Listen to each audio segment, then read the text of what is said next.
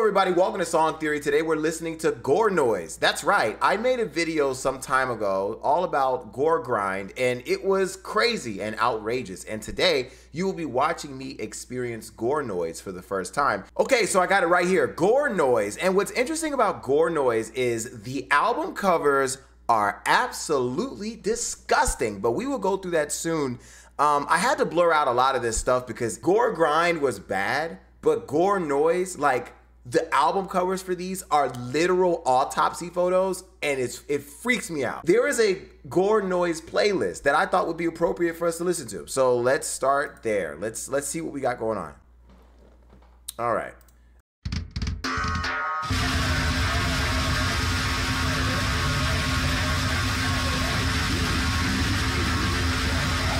Um so when they said gore noise, I did not expect it to just literally be noise. Um, it, it's first of all, it sounds like it's going at 200 BPM. Um, they are playing every instrument at the exact same time. Of course, the yelling. You got to have the yelling. You got to like if that's not there, then is it is it even gore? Anything like what's the point?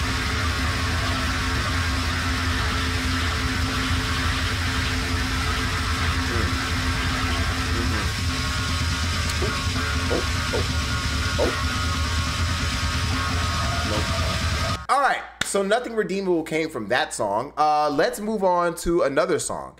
Uh, let's see. Let's see. Let's go on to Pizza Burrito, uh, the Human Fungus Farm. It's the full album. These are mushrooms. Okay. It's a psychedelic drug.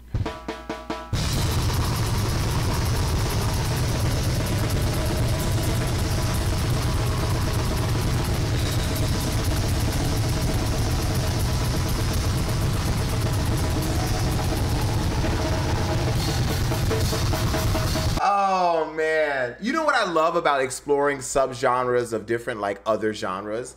Like this is I, someone informed me that these are called micro genres where like you got heavy metal and then it disseminates down into to, to even more niche and more micro genres. Gore noise is considered a like super micro genre, but there is a lot of there are a lot of people that enjoy this music. And what I find interesting is how it's it's like impressively disgusting, right? Because you, you have to put the headphones on. If you're not watching this with headphones, you're not really getting the full experience. But there are some really guttural, disgusting, like like bio, biological noises that I'm hearing in my headphones right now. And they sound incredibly nasty. And again, we have to make sure to link the song with like the album covers. And, and keep this in mind whatever album cover this is, whatever we're even looking at, it, it, I don't even know. Whatever we're looking at is so disgusting that even they had to blur it out. And these are the guys that made the goddamn song. They made it, and they even felt like they had to blur this out. What is that? What is in that picture? What what did they take a picture of? I want to listen to Crash Course in Bone Marrow Consumption. Today I'm going to show you how to eat bone marrow the right way because you're doing it wrong.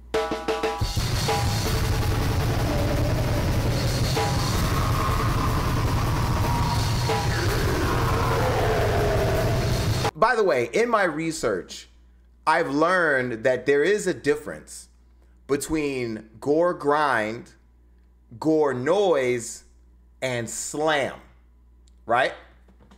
I'm learning. I'm learning. So those differences are very slight.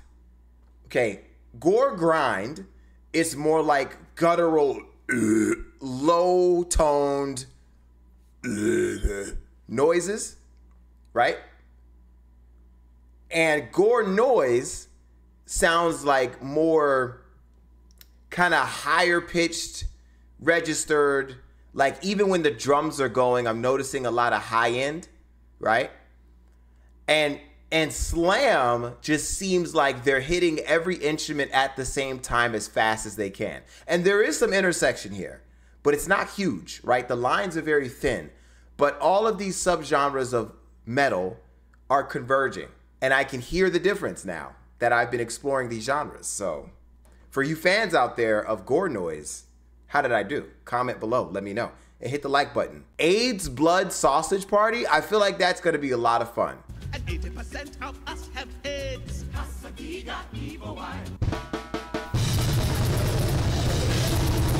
What? What did he just say? Wait.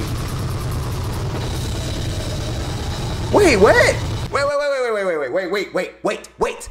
And 80% of us have AIDS. Did he just say 80% of us have AIDS? Bro, the names, the names of these songs. Let's listen to Unknowingly Fed Testicles. More lamb fries. Eat them while they're hot. Andy, that's your third order. I am hooked, Elizabeth. Call me Mr. Lamb Fries. Now there's a man who knows when he's got something. What good is in his going on? You polish off that plate and you break the record. 28. Stand back, everybody. The record falls tonight. Look at him go. I believe you, he's right. What is happening on this song? tonight. 27. It stood at 28 for nearly two years now. That long? Go for it, Andrew. Is this a, is this a song? That's a tie. What is going? What is happening? The new record! Lasts forever. Most folks just don't seem to have a taste for testicles no more. What? What?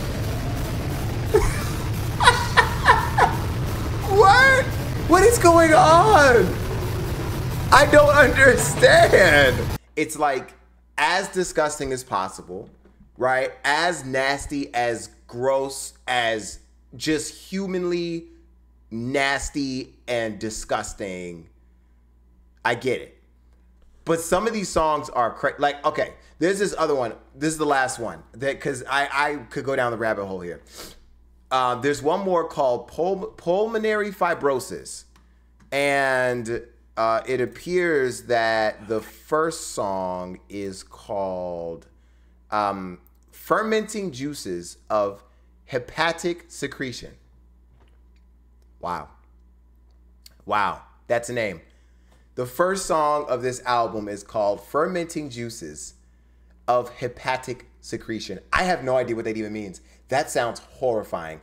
Um, let's listen to it. I hate breathing on the track. I hate that so much. Oh.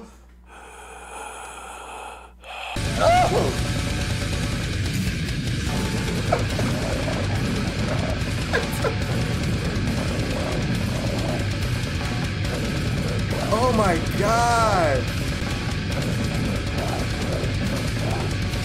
Bruh. Wow.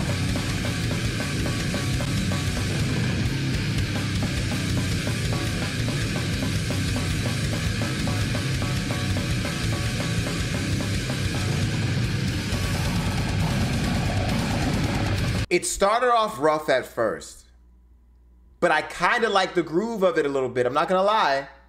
I kind of got into this one. I kind of like this song. This song again, what is it called? Uh, Fermenting Juices of Hepatic Secretion. 10 out of 10. I love where this song is going. It's kind of enjoyable. I'm feeling that. I'm feeling that. I might put that one on my playlist. Okay, you guys apparently love when I do this, so I had a lot of fun. Um, I'm going to go baptize my ears and wash myself in holy water.